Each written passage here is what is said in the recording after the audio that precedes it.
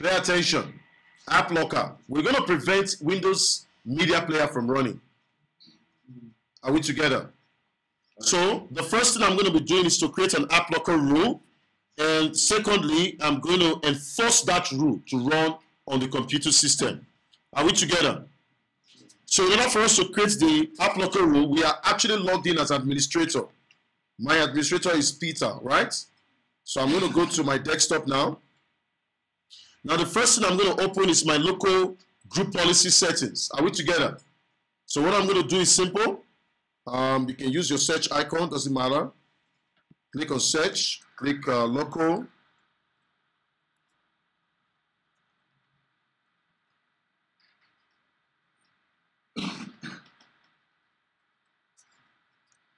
local group.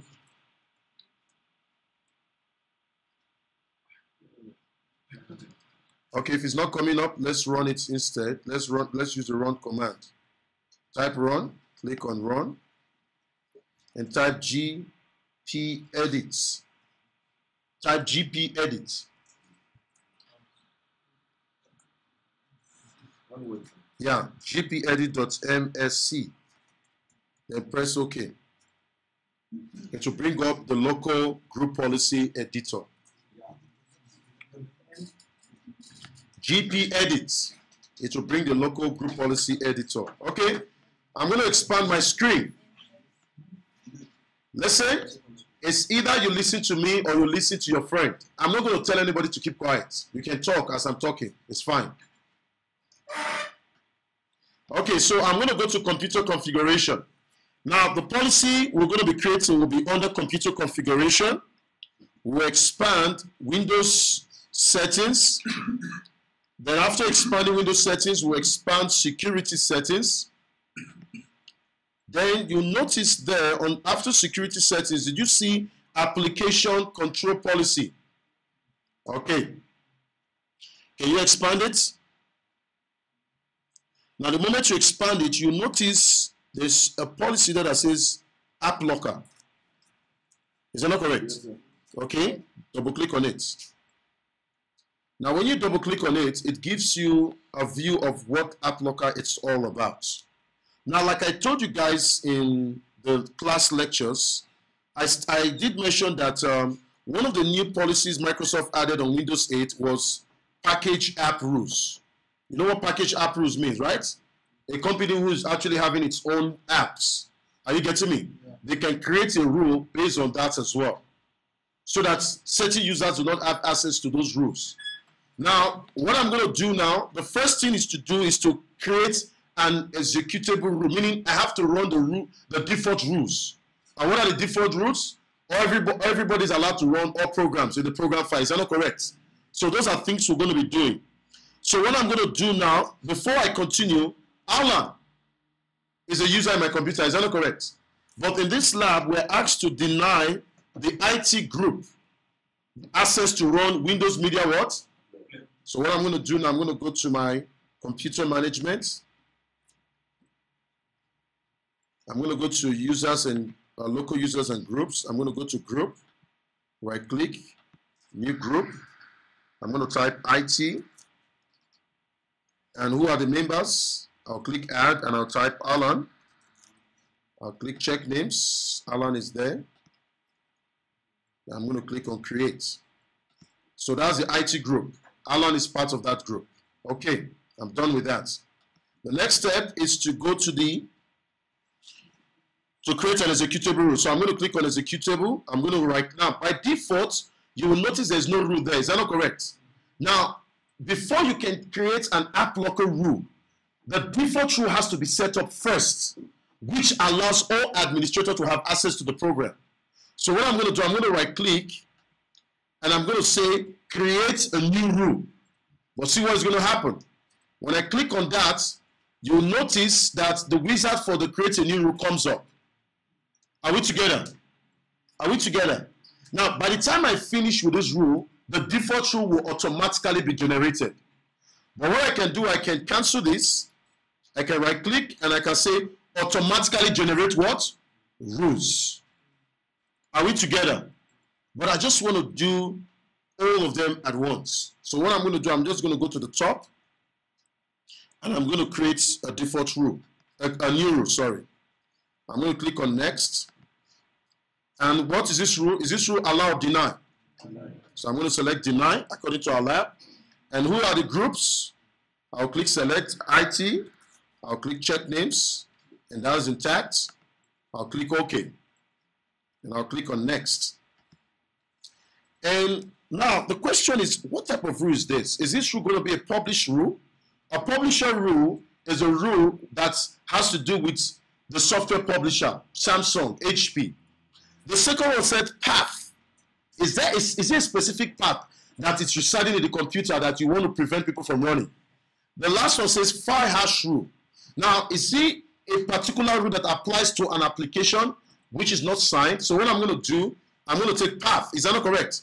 Because the application, which is Windows Media Player, is installed in my computer system. Is that not correct? So that's what I'm going to take. I'm going to take path. And I'm going to click on next. I'm going to click on browse, um, browse file. That's Windows Media Player there. Then that's wmplayer.exe. Then I'm going to click on open. And that is the location of the file there. Huh? So I'm going to click on next. You can actually create an exception. Are you getting me? Like for example, the path, I can create an exception for the path, but I'm not doing any exception. So I'll just click next.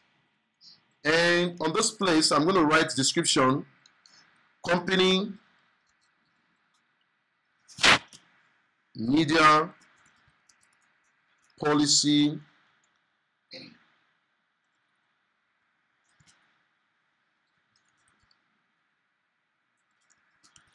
rule section 234. Company, media rule sections rule section 234. That's, of course, the only why you put it that note there, just in case another administrator comes in. So I'm going to click create. Remember, we're creating one rule, right? But let's see what's going to happen. Now, something comes up. It says, the default rule are currently not in the rule list for this rule collection. So when creating a rule, it is recommended that you should also create the default rules to ensure that important system files are allowed to what? Are we together? Because this app controls everything that has to do with application. So I'm going to click yes, and you notice all the path is set up. Everyone can run all Windows files, Windows folders, all, uh, all files, but deny IT group to run this specific what? Program. Okay, let's go and enforce the rule. So now let's go to the app locker property. You see the app locker here? Can you see the app locker here? Can you right click on it and go to property? Now on property, did you see enforcement, the tab enforcement? Okay, we'll say configured. We'll select it to configure enforcement for executable rule, which is of course the rule we are doing now. And um, that's that's the rule we need, we need to configure according to the lab. Then we click apply and we click on what? Okay. Now, let's do one more thing. We need to what? Update the group policy. Is that not correct? Remember I told you that group policy can be updated either when you restart the computer or you can force it. So let's go to the start menu. We'll select on search and we type GP, uh, sorry, we can type as PowerShell run as administrator. Then we type GP updates space forward slash force. Are we together? Now press enter. Now what the system will do, it will update the user policy and it will also update what? The computer what? policy. Are we together? Automatically. That's what has happened. It has updated the two policy. I'm following the manual. So what I'm going to do now, before I move to Alan, there's one secret ingredient that some people did not get right every time they make this rule, is to start what they call the ad application identity service. Some people didn't know that. So you want to make sure you stick to that. So I'm going to come to the tab here or I'm going to click on my start. I'm going to click on search and I'm going to type service. So it's going to come up with my view local service. So I'm going to click on it.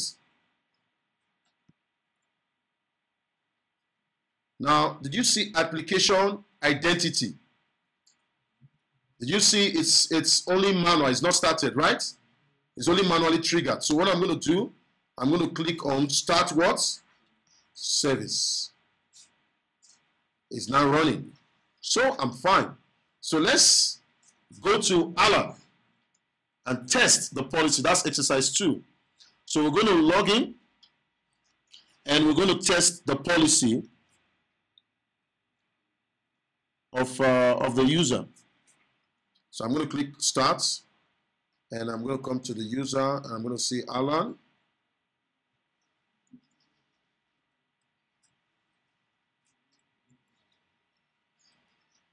Okay. Okay, for best practice, what I'm going to do, I'm going to log Alan out. Are you getting me?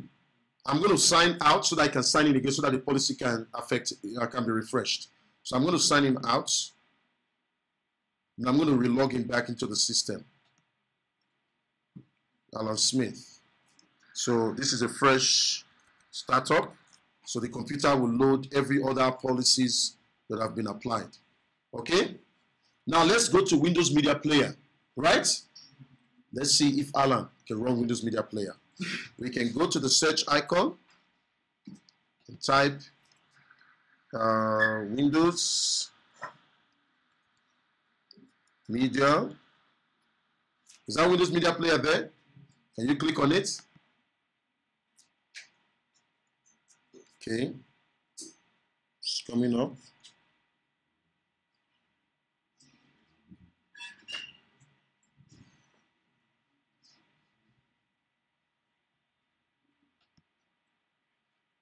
Okay, let me go to the application program files, Windows Media Player.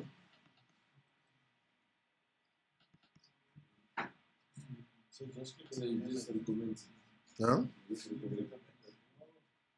You said? You just the recommend because it's never been used. No, it's done now. Yeah, that's it. No, normally you're supposed from the execution execution, it's supposed to give you that problem. Yeah. No, no, I think the policy is still applying in my computer. That was the delay. The policy was still applying. Yeah. So now if I go and do that now again on the Windows, because the computer just boot up, I'm just trying to.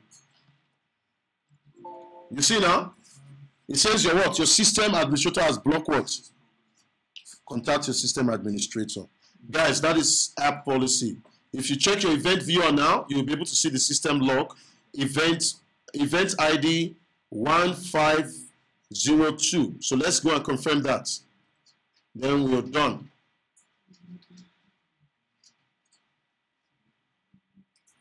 Can we go to um, your administrator?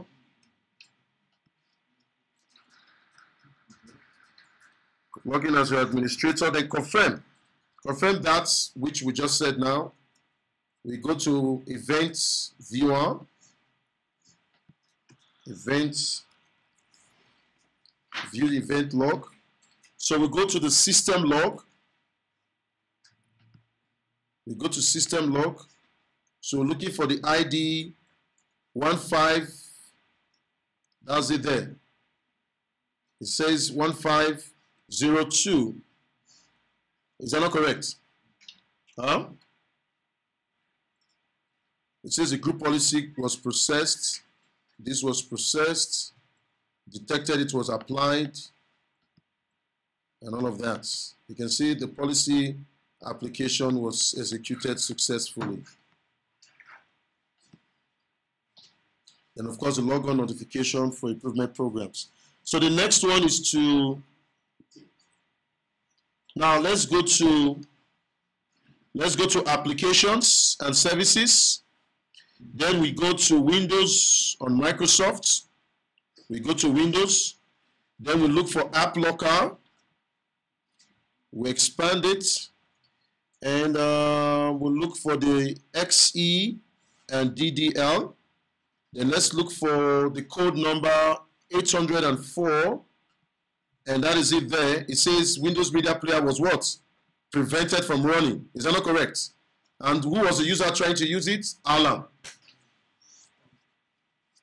Guys, that's all I wanted to show you. At least I can stop here